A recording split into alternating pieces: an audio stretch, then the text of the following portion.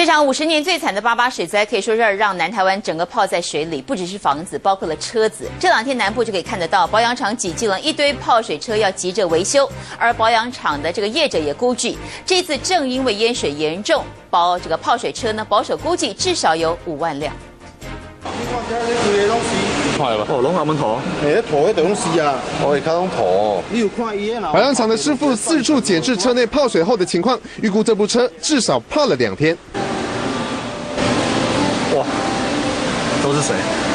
这都是都是泡过水的。那这台车子如果说以泡水来讲，至少一半。泡了。另外这一部四年车龄的汽车也到了保养厂。好水啊！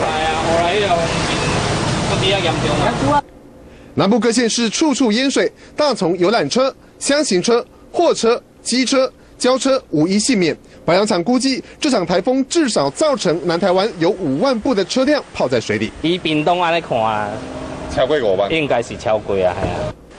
由于泡水车数量惊人，也因此已经有中古车商在预定泡水车。而泡水车会不会因此而混入中古车的市场？保养厂教你如何辨识。像这些保险丝盒啊，如果他如果把所有保险丝拔掉的话，要清洗的话，不能百分之百洗得很干净。意思是说，它里面的接缝多多少少会残留一些淤泥啊。